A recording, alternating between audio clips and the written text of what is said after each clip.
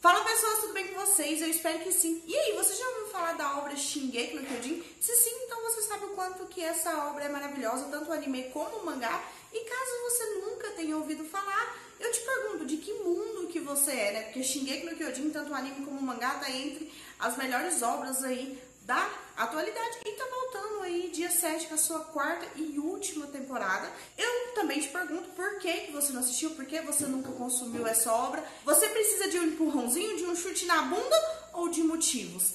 E se foi sim para alguma de uma dessas perguntas, então esse vídeo é perfeito para você, porque no vídeo de hoje eu vim aqui trazer mais de 20 motivos para você poder consumir essa obra. Então já se inscreve no canal, deixa o like, compartilha o vídeo com os amigos de vocês, ativa o sininho para sempre que eu postar um vídeo novo você ser notificado.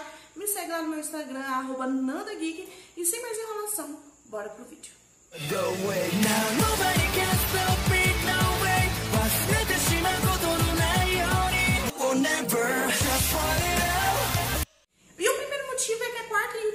De Shingeki no Kyojin tá vindo aí, dia 7 de dezembro agora, tá chegando aí, contagem regressiva, e vai ser uma temporada super marcante. O segundo motivo que eu tenho que dar pra vocês é que a animação, ela é maravilhosa. Shingeki no Kyojin é uma obra com vários detalhes, né, por, pelo universo da história em si, né, onde a gente tem pessoas lutando com gigantes pelados, grandes, que comem gente, e eles usam tal equipamento de DMT, onde eles fazem muito movimento e parecem que eles voam.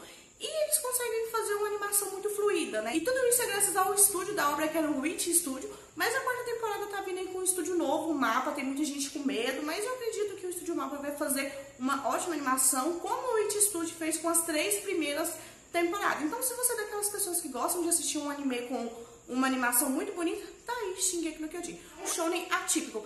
Ah, mas o que é isso? É um shounen que vai além do shounen, né? Geralmente shounen a gente vê a jornada do herói, discurso no jutsu, poder da amizade, aonde o herói sempre consegue fazer o que ele quer.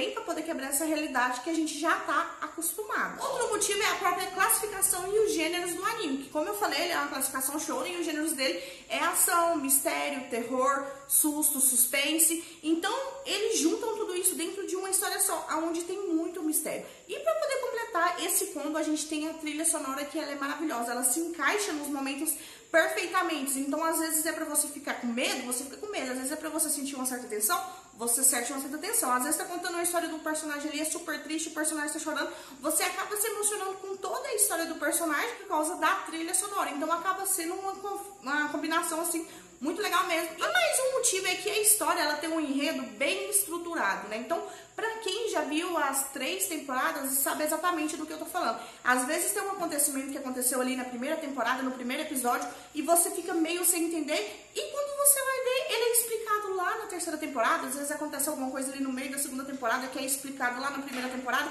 e quando você tá vendo, você meio que percebe que não entende, mas quando joga isso na sua cara, você fala, ah, meu Deus, tava lá o tempo todo e eu não percebi. E uma outra também que Shingeki no Kyojin, por ser essa coisa do mistério, do suspense e tudo mais, acaba te puxando pra dentro da história. Então você fica ali junto com os personagens tentando descobrir os mistérios, por que tá acontecendo isso, por que, que não tá acontecendo aquilo, da onde que veio isso, da onde que são os titãs? E várias outras perguntas. E você acaba descobrindo algo sobre o titã, algo sobre um certo personagem, algo sobre alguma coisa que aconteceu junto com o personagem que tá lá dentro do anime. E isso acaba te deixando muito curioso, porque é os mistérios da história que acaba te envolvendo e pegando você que tá aqui do lado de fora e colocando você lá dentro. E uma outra coisa que também tem em Shingeki no Kyojin é os personagens. Eles são bem desenvolvidos e carismáticos. Então, geralmente, quando as pessoas perguntam, ah, quais são os seus personagens favoritos de Shingeki no Kyojin? Você vai falar um, dois, três. Às vezes, nem o protagonista vai estar tá nessa lista de personagens favoritos, mas vários outros da obra vão estar nessa lista. Falando em personagem, aquele personagem apelão que existe em todos os animes, principalmente nos shows, também existe em Shingeki no Kyojin, e esse personagem é o Levi Arkman. Ele parece um anão de jardim, mas ele é bem apelão, bem foda, muito legal mesmo. Se você vê o anime, provavelmente ele vai acabar se tornando seu personagem preferido, porque ele é foda. E falando personagens também, tem uma coisa que eu gosto bastante nesses animes, que é quando mostram que as mulheres elas são fortes, elas são poderosas, elas sabem cuidar de si mesmo e às vezes elas são muito mais fortes do que os personagens masculinos, né? E diferente de Fairy Tail, caso você tenha pensado na Erza, supera Fairy Tail porque em Shingeki no Kyojin não tem nada disso. As mulheres, elas não precisam ser sexualizadas, não precisam ficar mostrando peito, bunda e tudo mais, para elas poderem ser uma personagem marcante. Realmente porque elas são fortes, elas têm postura, elas têm presença, elas têm poder, elas têm inteligência e acaba superando muitas vezes e sendo muito mais forte do que vários personagens masculinos e só pra fechar essa parte, só pra deixar mais claro, caso vocês não tenham entendido, não tem hate em Shingeki no Kyojin. E uma outra coisa também que eu gosto bastante nos animes é aquela questão da realidade. Uma coisa que as pessoas estão muito acostumadas quando vem anime shonen é, ah, é o protagonista, o poder da amizade vence tudo, o poder do protagonismo vence tudo, se ele não conseguir na porrada, ele vai no discurso no jutsu. E não tem nada disso em Shingeki no Kyojin. Às vezes você tá vendo o protagonista ali junto com os amigos dele numa situação, aí você pensa, não, tá dando errado agora, mas depois vai dar certo. Não, não.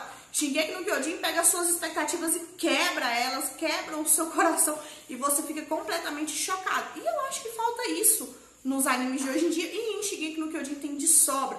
E falando em realidade, além da história mexer com o seu emocional e com o seu racional, acaba trazendo vários pensamentos, conceitos e coisas que acontecem no mundo real para dentro da história, como o abuso de poder, como o preconceito, como a escravidão. E falando quase sobre a mesma coisa, carrega as lições de vida éticas e morais sobre a sociedade, sobre nós mesmos, só que a sociedade do anime, mas você vê lá e traz para sua vida, se é que vocês me entenderam o Eren ele sofre uma evolução extraordinária.